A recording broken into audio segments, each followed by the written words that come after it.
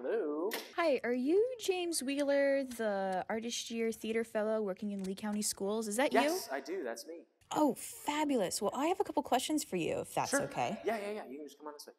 What's up? Okay, first one is if you had unlimited time and resources, what would you create? Oh, um, if I had unlimited time and resources, um, I really want to direct a show called Yerma by Simon Stone. Um, I've been wanting to do it since college, and if I had unlimited time and resources, then I could do it as perfectly as I see it in my brain. So I think that's what I would go with. That's so fun. Who's your artist crush? Uh, okay, right now my artist crush is Taika Waititi um, because I'm currently watching um, what's that show called? Uh, uh, Our Flag Means Death on Hulu, and it, him as Blackbeard is incredible. So, If you could describe your art practice in three words, what would they be? um, my art practice, I would say it's collaborative for me because I like to work with a lot of people. I like to work with directors. I like to work with the other actors, or if I'm directing, I like to work with my cast really closely and my crew. Um, meditative because for me it is a, a comfort space and it makes me feel at home. Um, and then I think exciting because as calming as it is for me, it gives me a boost of energy to just be on stage and be performing or be off stage and directing. So. I love that. What's something on your artist bucket list? Uh, my artist bucket list. That's a tough one. I, gosh, I honestly a one man show. I think a one man show. It's it's such a daunting task to be able to do something completely by yourself. Um, but I would love to to take that on. Nice. What's your favorite role you've ever performed?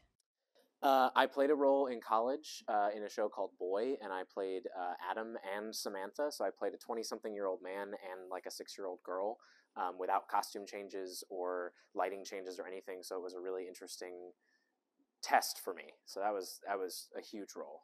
What about a dream role? Do you have one? I do, I do. Um, I normally do um, straight plays and dramas, but but musicals are always fun. And one of my favorite roles of all time is from A Gentleman's Guide to Love and Murder, and a, it's the D'Ysquith family. So I would play eight different roles in one show, um, and it's extremely comedic, super funny, and it would just be a, a riot to perform in. How do you get ready for a performance? Um, I have a couple things, a couple things that I do um, specifically. Um, so I really like to first and foremost get to the theater early before other people are there. Um, and I like to put on music. It doesn't have to be show tunes, just any kind of music.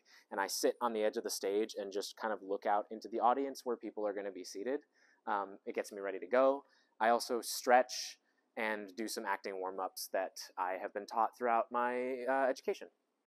Very nice. What's your favorite genre of theater? Uh, well, I kind of mentioned it before, but I really like to do straight plays and dramas. I did a lot of musicals in high school, and I, um, once I got to college, found that I just really liked the acting portion of it. I love to sing and dance, but the the acting is where I feel the most comfortable and get the most joy out of. Are there any future projects in the works? Yes, actually, I am currently working on a uh, production that's going to start next week um, at the Encore Center uh, down in Moore County.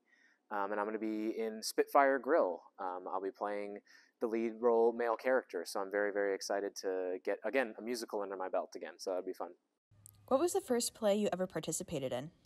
Fiddler on the Roof. I was in sixth grade and I played the constable. I would, did not expect to have a speaking role, but I had a couple lines here and there, and it kind of just sucked me in from that point forward. If you could have dinner with anyone, who would it be? Uh, dinner with anyone, I think um, two theater artists that I can think of that I would love to have dinner with would be either Uta Hagen or Stanislavski. Um, Uta Hagen is a great uh, female director and playwright with a lot of really cool acting techniques. And Stanislavski, because he became uh, known for developing method acting, which I don't agree with. and I would just love to pick his brain because uh, turns out he didn't agree with it either when he got older.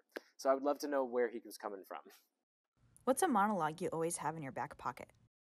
Um, from that show that I want to direct, if I had plenty of money and resources, um, time and resources, uh, I have a show. Uh, it's called Yerma, and the monologue from that at the very end is an incredible monologue that shows strength and weakness. Um, and it's a, I've done it for a couple auditions now, and I, I feel very strongly about it. What is a dream stage you would love to perform on? Uh, well, this one's great, but um, I think it's a little bit of a cop out answer. But I can't say no to wanting to perform at the Globe in London. There's a lot of great theaters, but as much as I'm not a huge Shakespeare person, I, I can't say no to wanting to perform on Shakespeare's stage. Fabulous. It was so nice talking to you. Thank you. Yeah, you too. So do I just go out this yeah, way? yeah. You can just kind of head up, or there's the, the exits are at the right and left um, if you need them. Thank you. You're welcome.